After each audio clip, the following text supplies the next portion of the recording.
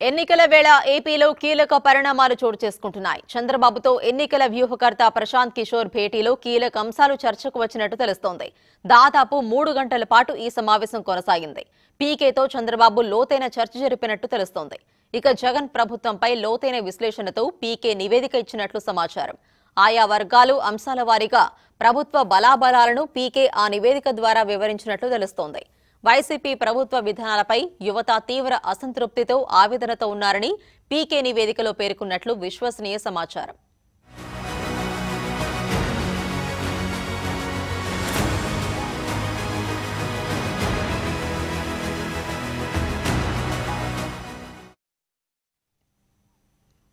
ముఖ్యంగా నిరుద్యోగం ధరల పెరుగుదల కరెంటు బిల్లులు పన్నుల బాదుడు వంటి అంశాలు వచ్చే ఎన్నికల్లో వైసీపీ ప్రభుత్వంపై తీవ్ర ప్రభావాన్ని చూపనున్నట్లు చెప్పారు.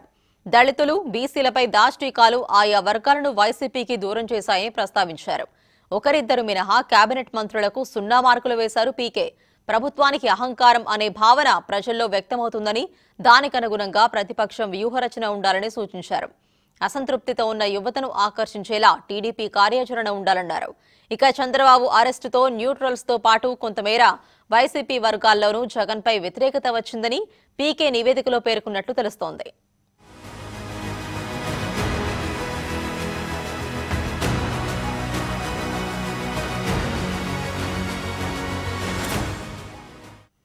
మరోవైపు ఎన్నికల్లో అనుసరించాల్సిన వ్యూహాలపై ఈ భేటీలో చర్చించినట్టు తెలుస్తోంది.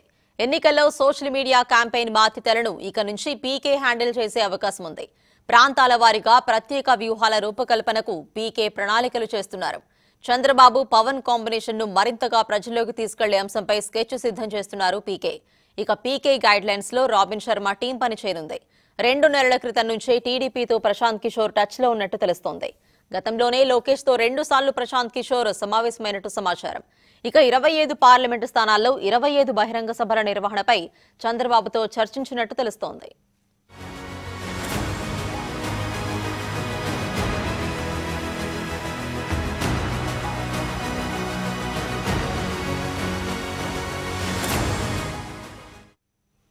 అంతకుముందు టీడీపీ జాతీయ ప్రధాన కార్యదర్శి లోకేష్ను ప్రశాంత్ కిషోర్ కలిశారు. హైదరాబాద్ నుంచి ఇద్దరు ఒకే ఫ్లైట్లో గన్నవరం ఎయిర్పోర్ట్లో ల్యాండ్ అయ్యారు.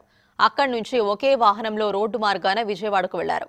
అనంతరం ప్రశాంత్ కిషోర్ను నారా లోకేష్ స్వయంగా ఉండవల్లి తీసుకెళ్ళి చంద్రబాబుకు కల్పించారు. ఇక వచ్చే ఎన్నికల్లో ప్రశాంత్ కిషోర్ టీడీపీతో కలిసి పనిచేస్తారనే ఊహాగానాలు జోరందుకున్నాయి. ఇక ఇప్పటికే ఏపీలో టీడీపీ నుంచి మంచి జోష్లో ఉంది.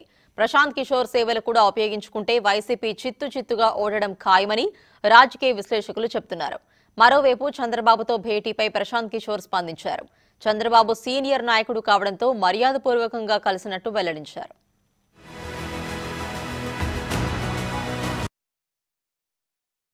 I met Chandrababu Naidu.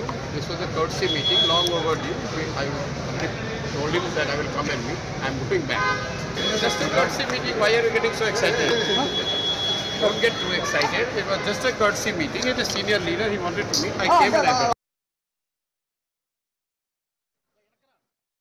저거 대판